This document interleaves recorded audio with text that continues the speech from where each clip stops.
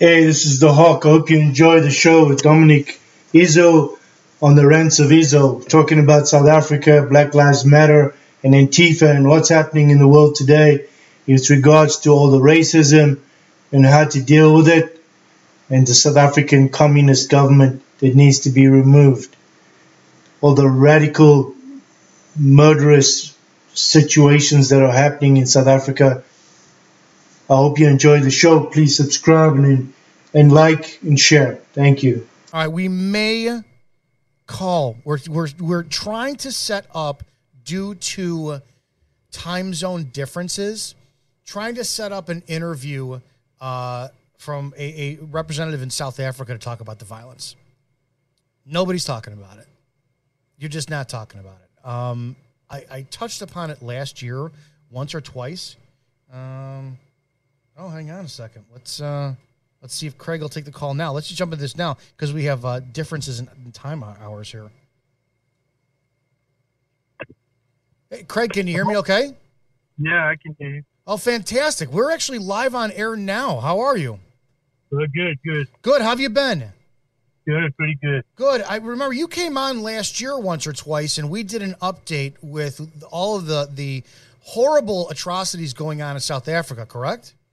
That's correct. Well, you know, it's been uh, it's been a year since we've had you on, and I know we let that story go on the wayside a little bit. Can you kind of give a recap as far as who you are, uh, if you're comfortable doing that, and then uh, your involvement in South Africa and what people actually need to know that the mainstream media is not reporting on?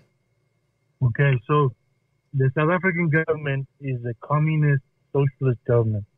The government itself has introduced more apartheid laws against the whites and the minorities in the country than the apartheid government of the national government that was in power before between 1948 and 1994.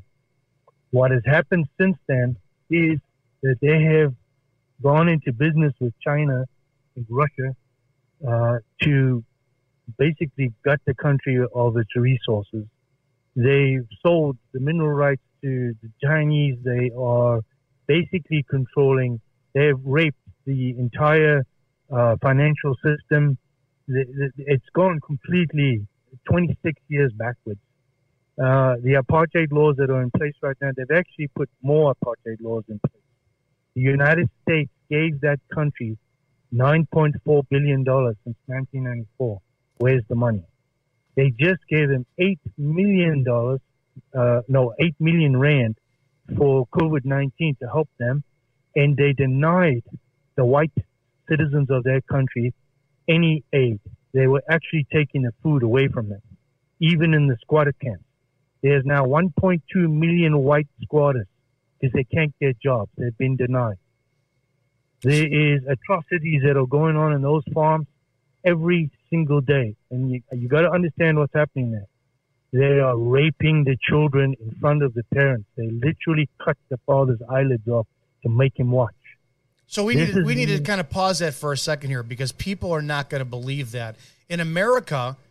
We have people who think that the worst thing that's going on right now is that the black community out here in America is so oppressed. We have the Black Lives Matter movement demanding uh, uh, social justice, demanding equality. There is this this this all of a sudden creation that for some strange reason blacks in America are still oppressed, which we've yet to see. It just doesn't happen. You're legitimate. No. You're legitimately telling me in South Africa that the black men in South Africa are raping white children and forcing parents to watch. Correct? To watch. Yes, and they're torturing them for hours and hours and hours. Katie Hopkins did a, a documentary on it. Laura Sutherland from Australia did a documentary on it everybody's been doing documentaries. Nobody wants to listen. As for Black Lives Matter, it was created by two black women. Both of them are lesbian black women who are Marxist, Leninist supporters. This whole thing is a, is a fast. As a policeman, you should know that not, more the more white people are shot in the United States than any black people. That's that's a fact. Uh, another fact that people don't realize too is that only 1.4% of the United States ever owned a slave before, before the Civil War. if another fact that people don't realize is that Robert E. Lee was the one that was the first person to say, free the slaves, and we won't have this war. It, it, it was the, the, Emancipation Proclamation by by by Lincoln was a political ploy to to get to gain popularity. It wasn't he owned slaves. The whole thing is a fact. There is not one person in the United States that can tell me that they do not have equal rights. And this is a, all just a political, and again, let's put it right to where it is in South Africa, communism. So when when you guys in South Africa see what the black community is doing here, and you see what the white community is is just bending over backwards to try to appease people, to a constantly. Uh, well, no, you we, you have like I'll give you an example. In Chicago over over Thursday night going into the weekend, Black Lives Matter demanded that uh, the Christopher Columbus statue be removed. And our mayor, who's a female black lesbian, in the yeah. middle of the night on Thursday, removed the statue after several police officers, 41 police officers, were injured by weapons being thrown at them, you know, frozen bottles of water, frozen bottles of urine, uh, uh, fireworks, all this. So she has the statue removed, which you think would solve the problem and would meet their demands, but it didn't. They they no, still talk about well, we this is the still underlying issue. So we no, have a. Go ahead. I'm sorry. Go ahead. She's not dealing with the fact that 30, 30 people died every single weekend in, in Chicago, and and 90 percent of them were children. She's also ish, she's also addressing an issue that will keep getting moved. They want an inch, they take a mile. I have to ask this. Number one, what, how does the white community in South Africa look at what the white community, the white liberal community in, in Illinois, excuse me, in the United States is doing when we bow down and kowtow to this Black Lives Matter movement? Do they think we're being foolish? Well, I, I have to be honest with you. The white community in South Africa right now are in peril. They cannot open their mouth. They get murdered. That's a fact they get murdered. Anybody that goes against the government gets murdered.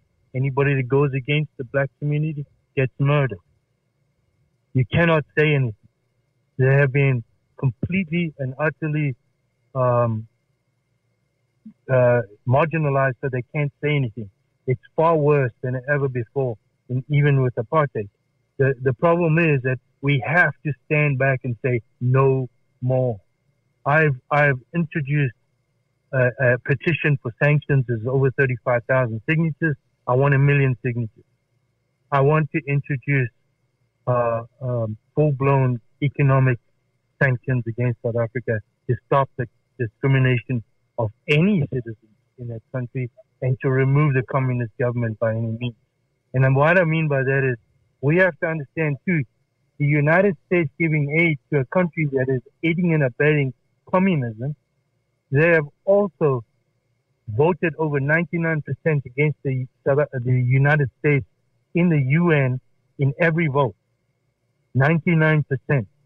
The Venezuelan uh, ambassador South, for South Africa actually said that they would go against the United States in, in, in any, they would bring military action against the United States and help Venezuela. These are not our friends. When we put sanctions on, on Iran, they gave Iran 13 tons of gold. That's a fact. They're also selling diesel to Iran. They're violating our sanction laws. They, they have uh, 40 ISIS and Hamas and Al Qaeda camps in South Africa. These are facts. What happens to the fact? Uh, you know, I, I'm I'm ignorant in a lot of ways, especially what's going on in your country. I, am sure there's massive retaliation when you fight back. But are are white people fighting back in any way that they can? Are if they know that you've got I don't know a, a bunch of black uh, uh, uh South Africans going to come onto your land, and you know, my God, I could have my family raped and murdered here. Are people fighting back at all? Is there any reports of that what at all? They, what they're doing is they're killing the farm, and then the families leave, and the farms fall apart. And what's going to happen is another Rhodesia where there is no food. Economy went to Robert Mugabe literally destroyed all the farms. So that all those people are now in South Africa illegally getting whatever they can get their hands on because there is nothing there. So, and now in South Africa, they're doing exactly the same thing. This is a, this has happened throughout Africa. As soon as colonialism left, these people moved in and they took over and they're just raping the country till there's nothing left. And then what happens is the country collapses. In comes the IMF. In comes all these other criminals. They take over. They buy every politician that there is and lands up being a mess. And now we have a third, fourth, fifth year, fifth world country that is that is these poor people are basically raped to the point of nothing's left. And they don't realize it because what's happening, same as in America right now, they're using the color and race against each other to divide and conquer us. Was there anything that you guys saw that, if you look back and said, if we only could have prevented this? I mean, I don't want to sit there and say, you, know, you obviously everyone thought apartheid was horrible, had to be ended. Um, did it just go so extreme that South Africa went, you know what, we did something so bad for so wrong, now we have to make up for it, and you bent over? No, no, no, no. Because what happened is we were sold a, a bunch of goods by the international communities, like because of Henry Kissinger He's still around, that evil son of a bitch. Excuse my French. No, but you're fine. You're he, fine. He's still around. He's still there. You got Gates. You've got you've got uh, uh, uh, Obama's down there. You've got uh, uh, Oprah Winfrey down there. You've got Prince Harry and that Meghan Markle woman down there. And they're all coming out. Bill Gates was walking in Khayelitsha three weeks before they shut the country down, and the first case of coronavirus was in Khayelitsha and him and his wife were walking around there as if, and that's the most dangerous place you could ever be in, and nobody touched them. You explain that to me. I can't. I can't. I believe that this whole thing's a bunch of uh, crap going on there. Anyway, it's a, it's a, it's the con virus, but I'm we can go into that another time. But the, the problem with what we're having in South Africa is is you cannot own a business unless there's a black partner that's 51% shares. That's the only country in the world where the minority uh, they have this, they have what do they call it affirmative action against the minority, not the majority. We had that, okay. you know, we have that here a couple about a year ago. Uh, yeah. uh, Illinois adopted a law that talked about if you're a board of directors, it's mandatory you have to have at least a person of color on the board. Doesn't matter that person's qualifications. Your board is not valid and it's illegal unless you have a person of color on there. How far are we away from seeing the signs of saying, okay, you know what? How soon is it until you know the, the black community demands reparations and oh God, uh, I'm sorry, you have to give us 10% of what you make a year and it becomes law. What mistakes did South Africa made that the United States should avoid? Okay, yeah, in South Africa, what we were sold is we were sold the ANC, the African National Congress, to consist of the African National Congress, the South African Communist Party, and the, the United Trade Unions Organization. It's three organizations that are in one to run the country. You cannot run the country when the unions and, and the and the Communist Party are your main main group. You just a figurehead you understand what I'm saying? Mm-hmm. So they are controlled by the communists. Now, we were sold a bunch of goods about the new South Africa because of Mandela.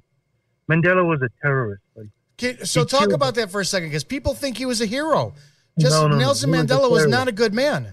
No, he, he, he orchestrated at least 24 bombings. They killed women and children, and most of them were black, not white. Unbelievable. So, so he went to jail for 27 years. When he came out, everybody was Mandela, Mandela, Mandela. And yes, he was told, yes, talk about peace, talk about this and that. There's a document, and you can look it up on the internet. It's called the, the, the Boiling the Frog. And, and it's a document that was orchestrated by Ramaphosa, who's the now president of South Africa. And it's a list, everything that they were going to do to the whites.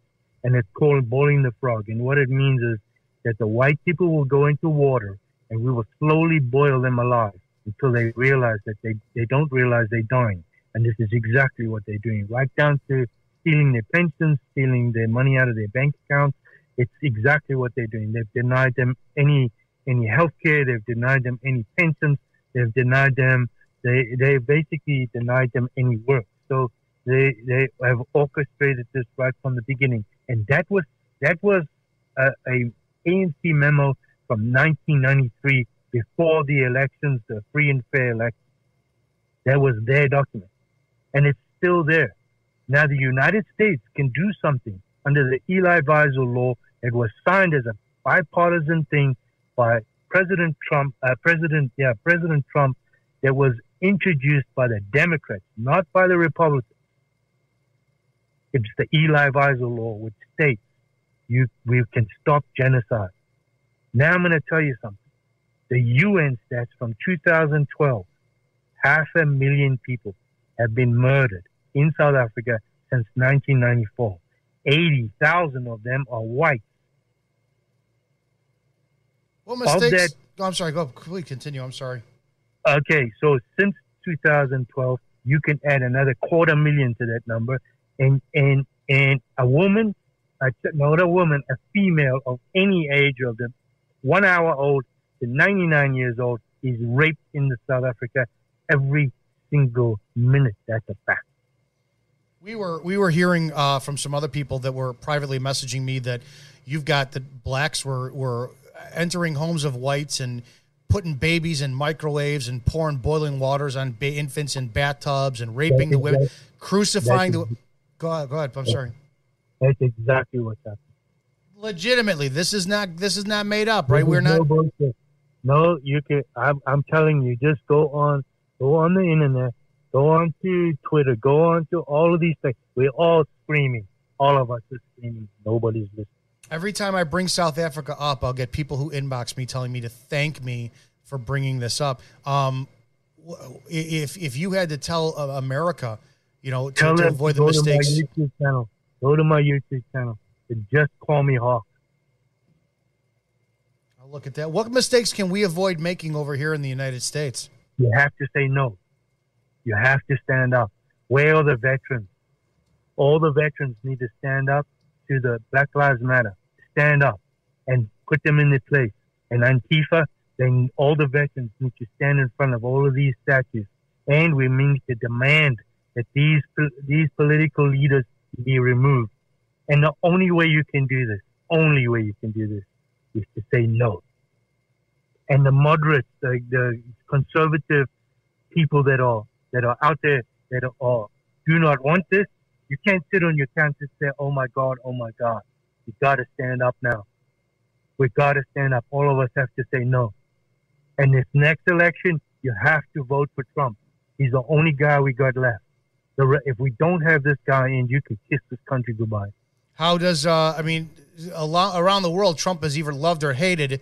Does South Africa look into him as some kind of saving grace to help out, or what's the view on him? They've been begging him to say something. He did say something, and then he kept quiet. We do not know why.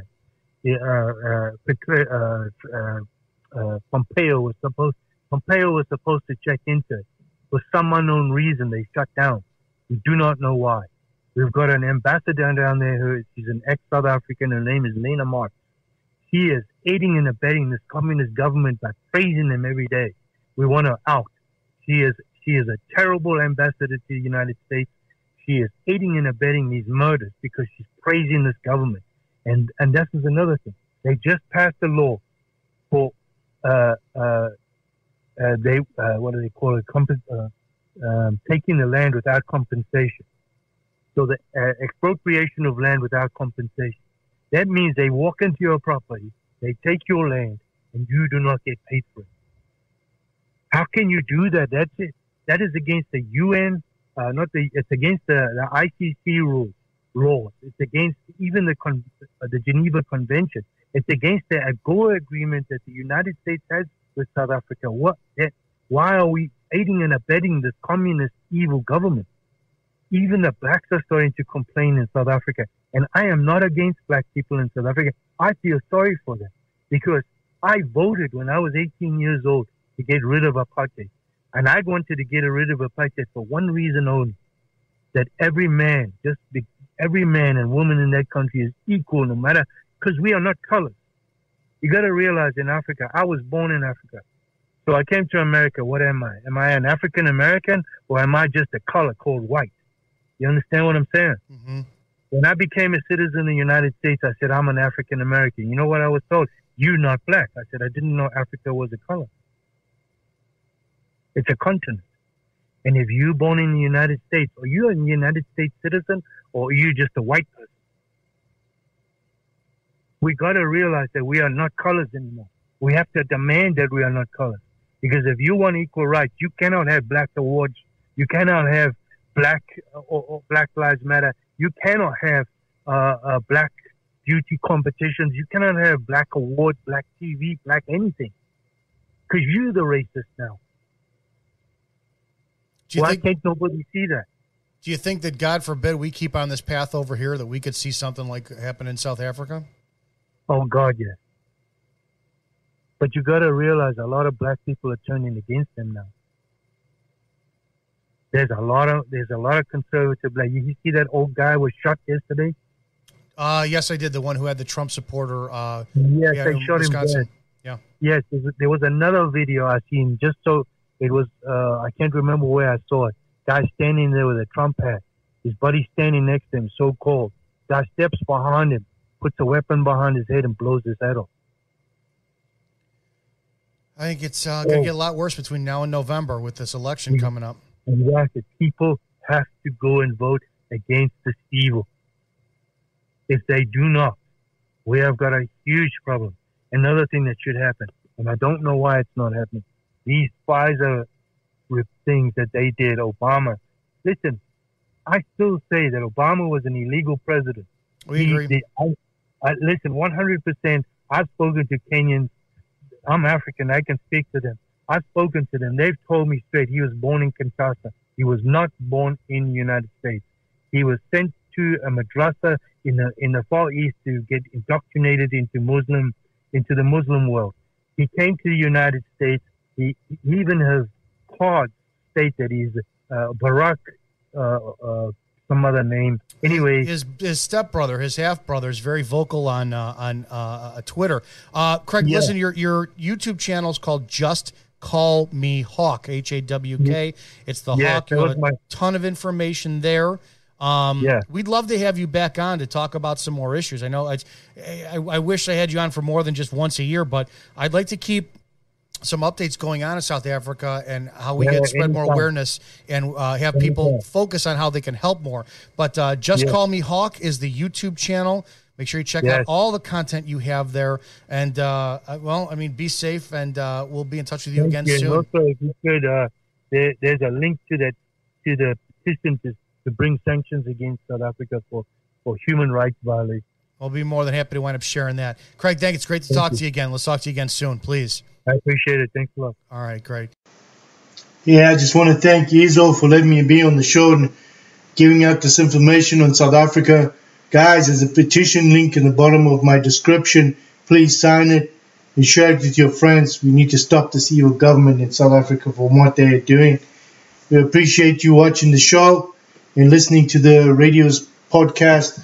Also, please just subscribe, share, and like. Thank you.